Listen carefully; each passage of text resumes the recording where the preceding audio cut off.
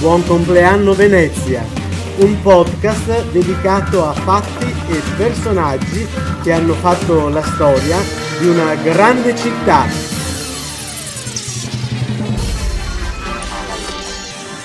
In ogni puntata verrà ricordato il santo del giorno secondo il calendario liturgico veneziano. Quindi oggi invece iniziamo la puntata con la nostra rubrica Oggi avvenne. La puntata di oggi non è dedicata ad un giorno speciale, ma ad un anno speciale. Infatti, quest'anno ricordiamo i 1600 anni di storia della città di Venezia, una città costruita su palafitte che grazie all'ingegno dei costruttori del tempo e con il perfezionarsi di una tecnica unica al mondo, ha saputo ergersi e costruirsi come una delle città più belle del nostro pianeta dal 25 marzo ogni giorno ricorderemo fatti ed avvenimenti che ne hanno fatto di un arcipelago di piccole isole un luogo di splendori sia per i suoi palazzi e chiese, sia per i tesori d'arte in esse contenuti. Dicevano di lei, sorgerà radiosa come un'alba, la perla dell'Adriatico, la nostra Venezia. E sarà attraverso l'arte sapienziale di cento voci che hanno creduto in questo progetto che vi racconteremo la sua storia, giorno dopo giorno e sarà una storia arricchita di contenuti ed approfondimenti.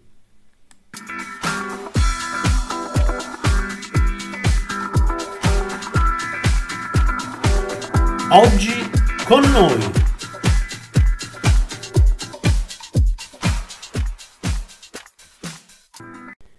Di professione guida abilitata della città di Venezia, è stata presidente dell'Associazione Guide Turistiche di Venezia dal 2012 al 2018. È degana della società di mutuo soccorso dei Carpentieri e Calafatti e tra gli altri incarichi ricopre il ruolo di vicepresidente dell'Associazione Piazza San Marco. Fa parte ormai da molti anni del Comitato Festa della Sensa per la rubrica Oggi con noi do il benvenuto a Caterina Sopradassi. Buongiorno Caterina e grazie per aver accolto il mio invito a partecipare a questa nostra trasmissione dedicata a Venezia. Allora, vogliamo fare con lei oggi un breve excursus storico su quelle che sono state le tappe principali che hanno sviluppato la storia di questa città. Forza Caterina, cosa ci racconta? Eh, buongiorno a lei Fabio e grazie per l'invito. E quindi proviamo a fare questo excursus che non è facile perché 1100 anni di storia, eh, raccontarli in poco, pochi minuti è quasi un'impresa titanica. Comunque, ehm, anche se stiamo celebrando i 1600 anni della eh, fondazione leggendaria della città, che ricordiamo essere il 25 marzo del 421, e noi sappiamo che esisteva una popolazione prima di questa data, ce lo raccontano storici importanti come Tito Livio, Virgilio, Marziale, che ci raccontano di una società organizzata che viveva di ortaggi, di pesca, di caccia, dell'estrazione del sale e ehm, questa popolazione verrà raggiunta poi durante le invasioni barbariche da altre popolazioni che erano quelle che abitavano ad Aquileia, Concordia, Oderzo, Altino, Padova e si spostano verso eh, la laguna da Caorle fino a Malamonco. Si formano eh, tre grandi eh, centri, quindi quello di Grado che sarà il centro ehm, religioso, Eraclea la prima sede politica eh, di Venezia e poi Torcello che era il grande emporio commerciale. La tradizione vuole che il, eh, all'epoca eh, venisse eletto Paoluccio Anafesto nel 697 primo doge di Venezia che in realtà non è altro che un imperiale scelto eh, con il benestare da Bisanzio. Quindi il primo doge che viene eletto ehm, e che inizia quella serie no, che andrà avanti fino alla fine della Repubblica, è eletto nel 742 ed è Teodato Ipato, che è quello che sposta la sede da Eraclea a Malamocco, che poi sarà nuovamente spostata dove oggi si erge Palazzo Ducale nei primi anni del IX secolo. Il doge è Obelerio Antenoreo e sarà quello che vedrà l'arrivo dei Franchi, Pipino, il figlio di Carlo Magno, che ci attacca. e la sede viene spostata proprio per ribadire l'indipendenza di questa società, di questa civiltà. Quindi Pipino può anche occupare Malamocco, ma intanto noi ci siamo già spostati. Quindi questa è una tappa eh, fondamentale e Fabio mi permetta di ricordare delle eh, parole che vengono eh, riportate da Giustina eh, Regnier Michiel nel suo Origine delle feste veneziane perché Pipino comunque entra in laguna, viene sconfitto, getterà in mare il suo scettro proprio come eh, simbolo di, eh, di, resa e eh, pronuncerà queste parole. E siccome solo sopra di me è discesa l'ira di Dio, così possa essa discendere sopra tutti coloro che ingiustamente nei secoli futuri venissero ad offenderlo. È importante quindi eh, questo passaggio proprio perché sempre la Renier ci dice che da qui nasce la, eh, la festa appunto della eh, fondazione della città il 25 marzo che è il giorno dell'Annunziata, eh, data comunque importante per tantissime altre, eh, altre civiltà. Quindi dicevamo nell'810 nasce il primo castello, la prima sede del governo veneziano nelle isole Realtina che brucerà nel 926 quando brucia anche la Basilica di San Marco, perché ricordiamo che nell'828 le reliquie erano già arrivate a Venezia da eh, Alessandria d'Egitto. Questi primi secoli sono importantissimi perché ci sono altre feste di cui io sono sicura se ne parlerà ampiamente nei futuri podcast, cioè quella del 2 febbraio, la festa delle Marie, il giorno della purificazione di Maria, e la festa della Sensa di cui abbiamo appena accennato, che poi verrà ampliata quando? Con il doge Sebastiano Ziani, data importantissima, 1177. A Venezia arrivano il Papa Alessandro III e eh, Federico Barbarossa, l'imperatore, per firmare un trattato di pace, ma sarà proprio il Papa a portare a Venezia tutta una serie di oggetti, dall'anello, il cero benedetto, la spada, il seggio, eh, l'ombrello e tutti quegli oggetti che vengono ancora utilizzati oggi durante la festa della Sensa. Sebastiano Ziani porta avanti anche il restyling della piazza, eh, come un po' la conosciamo oggi, quindi la Darsena viene interrata ed ecco che nasce la piazzetta.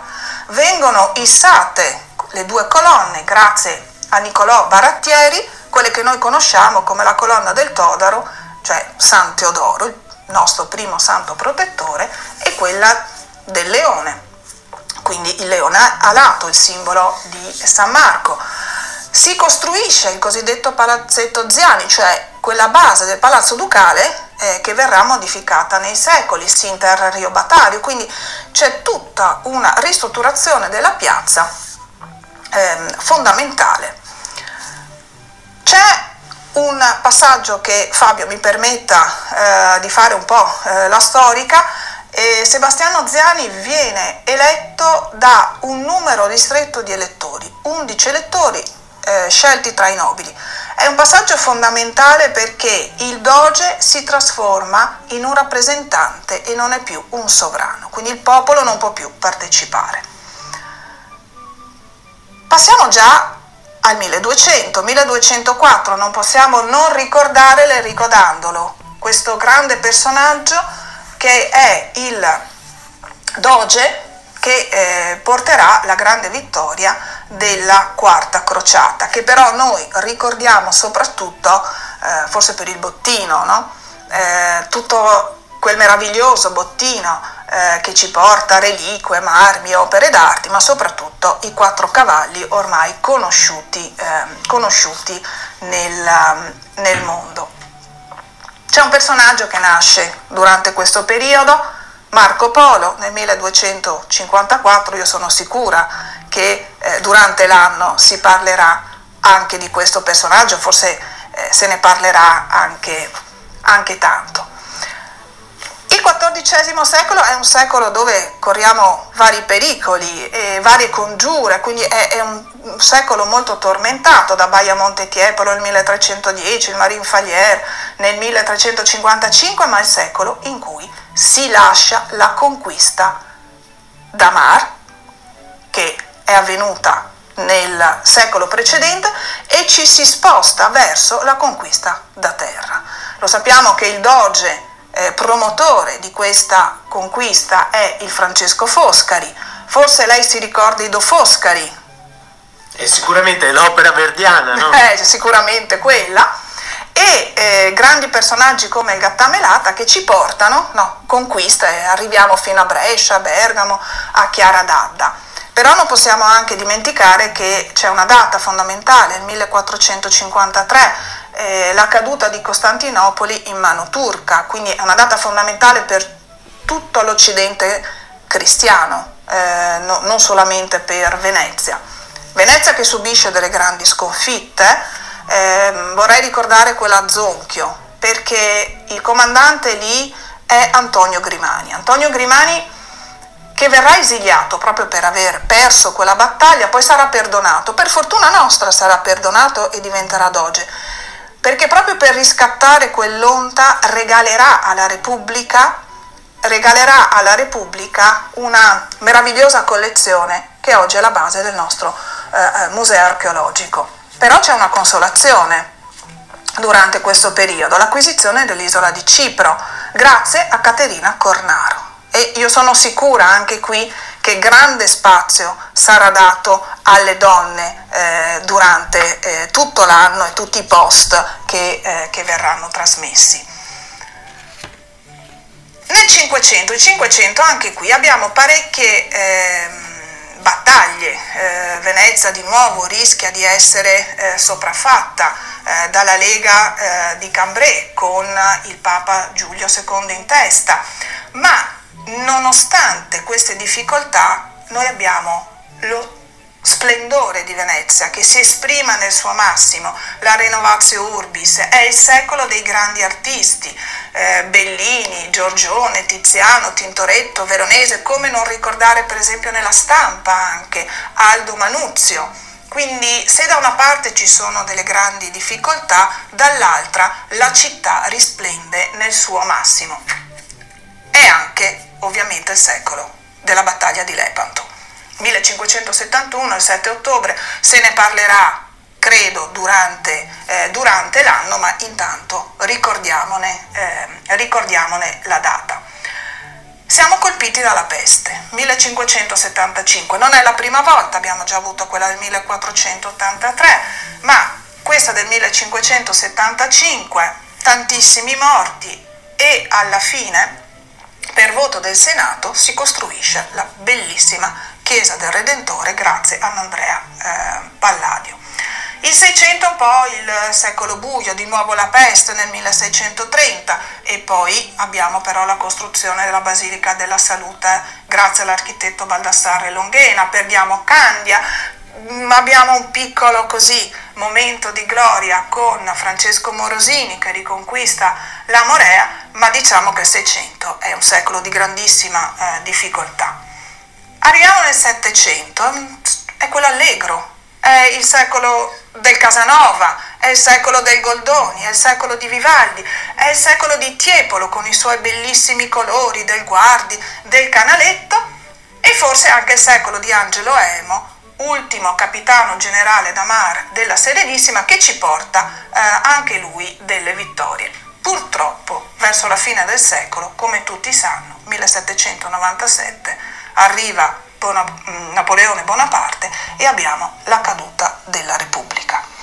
Non rimaniamo molto sotto i francesi eh, perché già eh, ad ottobre con il trattato di Campoformio passiamo all'Austria, poi nel 1806 ritorniamo sotto la Francia finché non c'è la caduta di Napoleone nel 1814, poi si ritorna sotto gli austriaci e nel 1866 come tutti sanno, sanno siamo eh, uniti al Regno d'Italia. Mi permetta solo di ricordare un brevissimo eh, momento di nuova indipendenza dal marzo del 1848 all'agosto del 1849, quando grazie all'insurrezione capeggiata da Daniele Manin, Venezia ritorna indipendente. Caterina, questo estratto è stato fantastico, sicuramente ha dato un'illustrazione molto chiara e anche certi momenti un po' dettagliata su quelli che sono stati gli step fondamentali della vita di questa Repubblica. 1600 anni di storia che naturalmente non finiscono col 1866, ma che tratteremo sicuramente nelle prossime puntate anche vedendo un po' quello che è successo nel secolo scorso e quello che sta succedendo in questi anni. E ehm, vogliamo dare un suggerimento, noi vogliamo sempre eh, offrire ai nostri ascoltatori un volume, un libro per chi volesse approfondire meglio il tema del, e l'argomento della puntata, per cui oggi parliamo della Repubblica. Quale libro può suggerirci Caterina? Io su- suggerirei Alvise Zorzi, eh, grande veneziano, discendente da una famiglia eh, di, eh, di, Dogi, quindi Alvise Zorzi, La Repubblica del Leone, ci sono varie edizioni ehm, che sono reperibili eh, nelle varie librerie. Ringraziamo ancora Caterina Sopradassi, ricordo che lei è una guida autorizzata di Venezia, per chiunque volesse venire a fare una visita nella nostra città può trovarla in internet, può contattarla, sicuramente lei è preparata sia in italiano che in altre lingue, è vero Caterina? Quali altre lingue lei? Sì, io sono anche in inglese e in francese. E in veneziano. E in veneziano. Quindi grazie ancora a Caterina Sopradassi per il suo contributo, per la sua partecipazione e buon proseguimento. Bene, così siamo giunti al termine di questa puntata. Ringrazio tutti gli ascoltatori e vi do appuntamento alla prossima puntata di Buon compleanno Venezia. E ora vi lascio con il proverbio del giorno. Il proverbio di oggi è le meglio viver da aseno che morir da volpe. Buon compleanno Venezia, un podcast dedicato a fatti e personaggi che hanno fatto la storia di una grande città